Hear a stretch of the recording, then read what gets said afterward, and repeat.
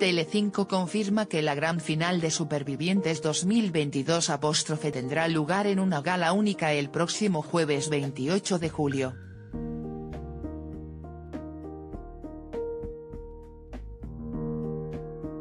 Es una de las preguntas más repetidas, ¿cuándo será la final de Supervivientes 2022 apóstrofe en la que conoceremos al ganador o ganadora?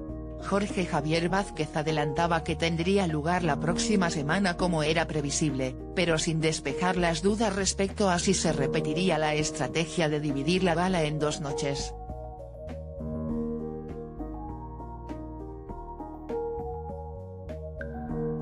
Un movimiento de programación que se ha producido en los últimos años.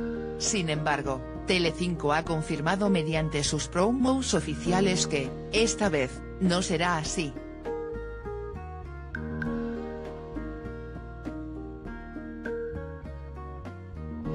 Todo el contenido se concentraría en una gala unitaria el próximo jueves, 28 de julio.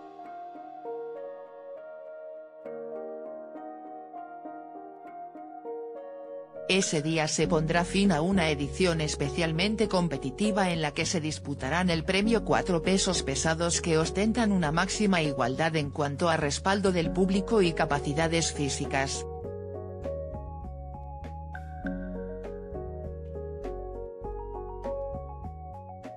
Ignacio de Borbón, Alejandro Nieto, Marta Peñate y Nacho Palau optan a alzarse con los 200.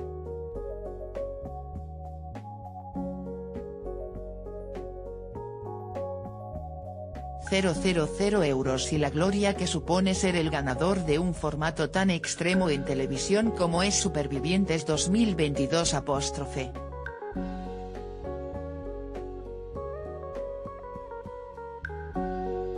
Todos han demostrado con creces ser auténticos titanes en las más de 50 pruebas que se han desarrollado esta temporada.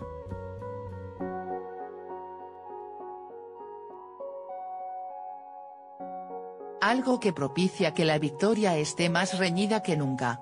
Todo puede suceder.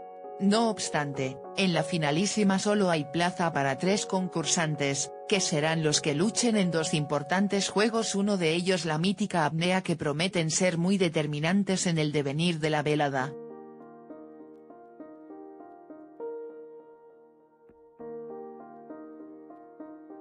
Por eso, antes, tendrá que resolverse el durísimo y apretado duelo entre Nacho Palau e Ignacio de Borbón.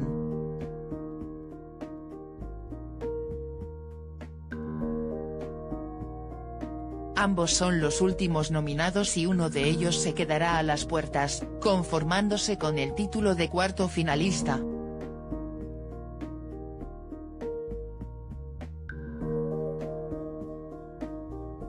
Además, en esa gran final se producirá la llegada de Anabel Pantoja al plató de Supervivientes 2022 apóstrofe.